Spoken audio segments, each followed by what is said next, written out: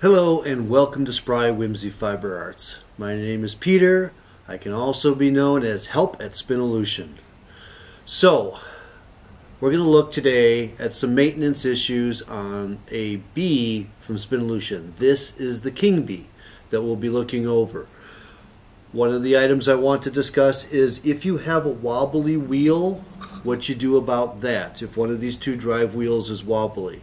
We'll also basically dismantle a good chunk of this so you can kind of get an idea of how it's put together and what you're doing when you want to try to balance those wheels. To do that, I'm going to have to sort of take it apart. So we'll go through all the steps of that. Not that it's something that most people should have to do, but if maybe you need to clean it out once in a while, because sometimes when we're playing with fiber, there's a good chance fiber is going to get gunked up inside of things. I also have a separate video, something that all Spinolution owners should know, some maintenance on that about maintenance on the flyer. That is no different from the other video that I already made on that. So I'll link to that up over there somewhere. Um, so you can find that video. I'll probably put it in the description as well. So let me walk you through the different parts of the wheel and some other little things you may want to know, and then we'll look at how to balance these when if they're wobbly. Hopefully they're not, but every once in a while they are, and that may be a reason that a drive band is popping off when it shouldn't. Now the first thing I want to talk about is what some people think is a crack or a flaw in the wood. These little notches here have a purpose. They are there so if I want to take this big heavy band move it up to the next notch, to the next whirl. I put it in the notch, go around, and now it's in place. I want to go up to the largest one, go around, and now it's in place. That's what those little notches are for. They're not a flaw in the wood. Those are to help you put that band where it needs to be. To balance those wheels, drive wheels, um, first, take the drive bands off so they can spin freely. So I'm going to pop off the drive bands on the large one over here right now. So now my wheel will spin freely. There is this hole right here for the large one. This one uh, works on the smaller main drive wheel that comes off the treadle. This is the one that then feeds up to the flyer. This hole you put your screwdriver in there until you can feel it sort of fall into a Phillips head screw. And you can loosen those up. There are three of them. And then you can make some slight adjustments to the balance of the wheel. I just hit the second one and then the third one then I can kind of try to tweak it, make sure it's spinning right and even. And then when I think it's right, try to retighten those, get myself lined up again. Make Sure actually in the screws. And this may take several trial and errors to get right. Tighten that up and then give it a spin and hopefully it's running smooth.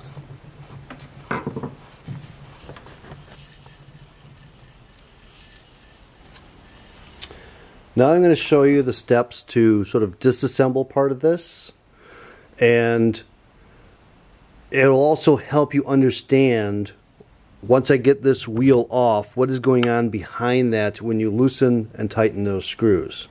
So it's going to involve taking all the drive bands off, including the little one on the treadle. Set that aside. We're going to have to take the treadle off, loosen the screw that holds this on, and loosen the screw that holds this on. So let me show you first where these screws are. We're going to loosen those and then take the treadle off.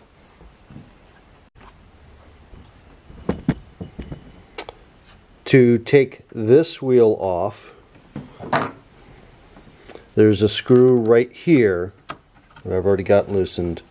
So this is what you'll loosen here and that'll free up that one. Okay, for the big wheel in the back, let's zoom out here. So this is the big wheel.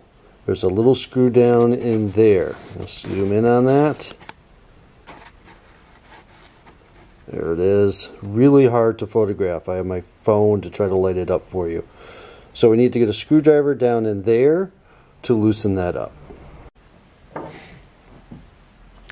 Okay, to get that in there, need a screwdriver that's going to fit in this little opening as I do this. Help if you have a flashlight to get in there. And then you're just turning to loosen that. Don't overdo it, just enough to loosen it up and it will come apart. Now to take all this apart, the treadle has to come off first. So we're going to lay this on its back.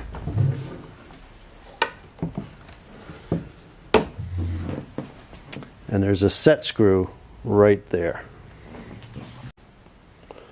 Okay, I'm going to take my 3 30 seconds Allen wrench and loosen this screw. Don't take it all the way out, just need to loosen it a little bit. Flip this around so it's out of your way. Now I'm going to open this up a little bit and then wiggle it up. There it goes. Now it is in two pieces that come apart and one slides under the other. So everything is sort of interconnected here. Now that I've done that, and I already have this one loosened, that slides up and out, as well as the big wheel slides up and out. And you can see now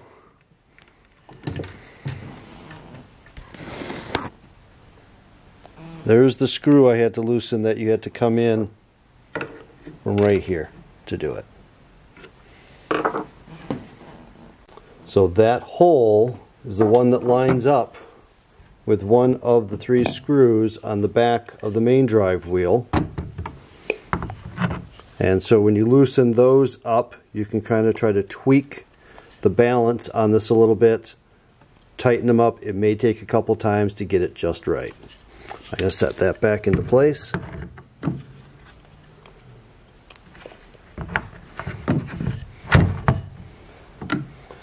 And the same thing is true on this one.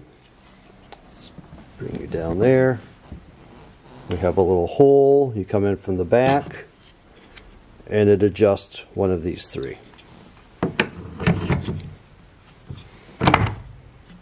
Those are in place. I can tighten those up now before I put the treadle on. Feel my way around. This angle I cannot see that. It might be easier when it's standing up.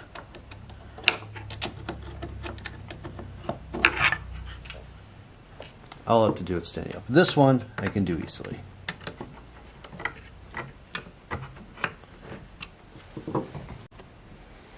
Okay, to reinsert the treadle, Got my hole here, just lining up with the main shaft there. Now, there are washers here. Sometimes you may need to add washers here or maybe add washers back here to adjust how the drive wheel sits with these whirls. So if things aren't quite lining up and popping off, it may be an option of adding some washers along the way to adjust the position of each of these relation to the others. So this right now just has washers here. There were no washers in here. Slide that on. Now, when you're doing this, this has to line up with the cam here as it goes down. And it's all the way down. Tighten the Allen screw.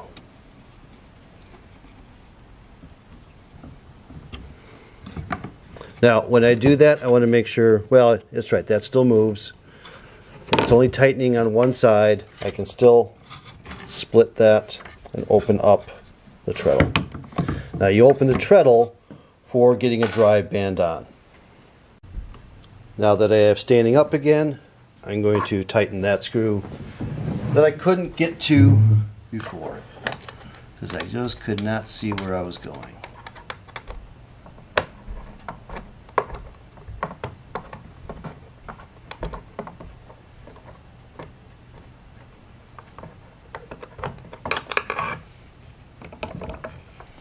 Spin it, spinning true. It's easier if you open this up. Give this a spin. Make sure everything's spinning correctly.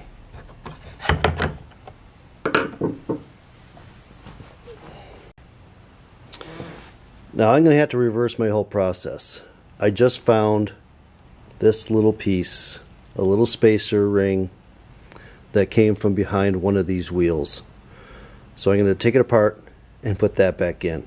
I just found it laying on my table.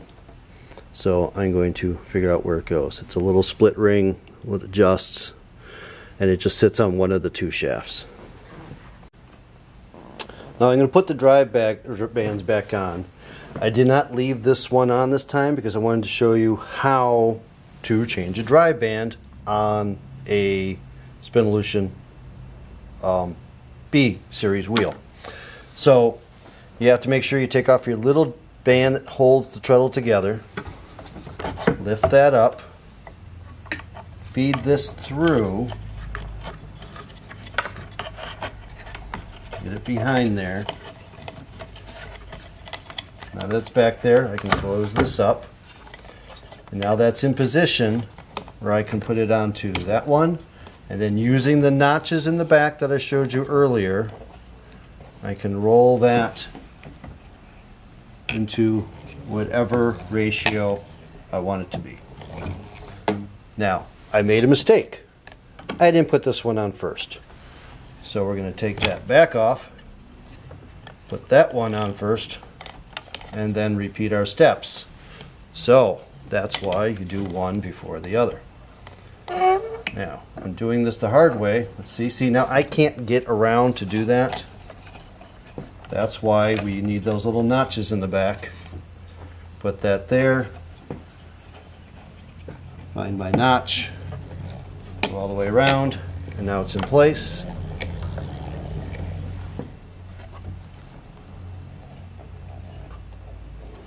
Get into the next one. And spins freely. Now I talked about adding washers behind here for spacing. And there's a couple reasons you might need to do that. So right now, in this ratio, everything's fine. If I drop that down one, let's get my little notch there to get it in the right spot it's down one. From here to here, this band is rubbing on this. Now if I make a slight adjustment here, bring that to here, it's all fine. It doesn't rub anymore. So if you found that you really had to have this combination, there are multiple ways to get to a ratio on this wheel because you can also make changes up on the flyer up top. So if you can't get to the ratio you need it to be, you may need to add a washer behind there to pull this forward a little bit. And if you add a washer there, you might have to add a washer down there. So that's a reason for maybe making those adjustments. You may be able to, if I have the room, loosen this up and scoot that just a little bit forward might solve the same problem, but the washer makes it more stable. Same thing here, for some reason you just can't get it, maybe you had to pull this forward. I doubt it, it's more likely this one and then the treadle so you still have clearance. The only thing I haven't done is put this back on here. And that's a hard stretch. The reason for that is to make sure this stays tight and when you're treadling, before we had that band, every now and then there'd be a little clicking noise if it wasn't tightly put together. It's this solved that problem. Now I had mentioned earlier a maintenance issue on a Spinolution wheel that everybody should know. I'm going to talk over quickly with this one. So after you take off your orifice bar, pop off your bobbin. Back here, if for some reason you spin the shaft and this spins with it, that means there is stuff gunked up in here and preventing you from having take up. And that's usually your first clue. I can't get it to take up. I've done all everything I can with the tension knob over there and it won't take up. Well, if this spins with this, then you're not going to get take up because there, you need differential rotation to get the take up on your bobbin. So if that is happening, there's a set screw there. You loosen that set screw. You pull this forward. And once you've done that, the, the nut forward, you can slide this around. Don't take it all the way off, but then you can get in and clean behind here where there's quite commonly fuzz and gunk that gets stuck in there or in here. You're working with fibers, it happens. Fiber gets everywhere. Now, I'm going to put this back together. I want you to hear the satisfying snaps of the Spinolution wheel because that is a magnet right there. If you know it's on there right when you get the snap. Come on. There it is. And you should have the same thing. Hooks up, hook down, or pegs up, hook down. Snap, snap. You know it's on there right. Everything should work properly there. One last thing is the tension knob. You don't want this sucker cranked all the way down. It should be fairly loose.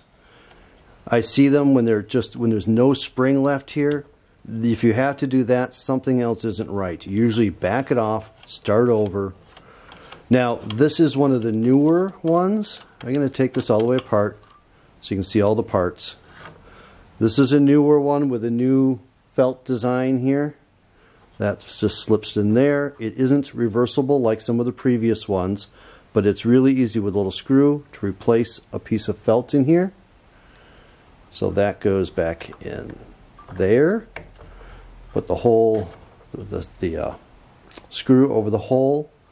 This piece, you want the plastic up against the tension block, and that's the same no matter what generation of tension block. And then just screw this on. Enough so it stays there. Start there, test it there. Add a quarter of a turn at a time to try to work on your tension. If it is cranked all the way down, there's something else going on, and usually it's the maintenance I just showed you in there. Okay, that takes care of most of the maintenance stuff you should ever have to do on the Spinolution Bee. Um, couple other quick things. You've got your pegs. Those are to hold your bobbins over on the side. There are three of them on a king and a queen.